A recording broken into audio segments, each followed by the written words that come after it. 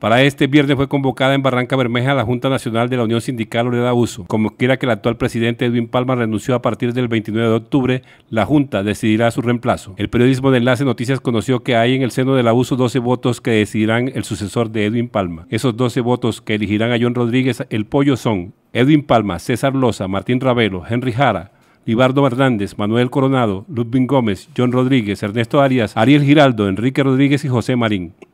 Y las minorías en la USO son Ariel Corso, David Gómez, Wilber Hernández, Fabio Díaz, Isnardo Lozano, Alexis Soto, Alberto Santana y José Ibargüen.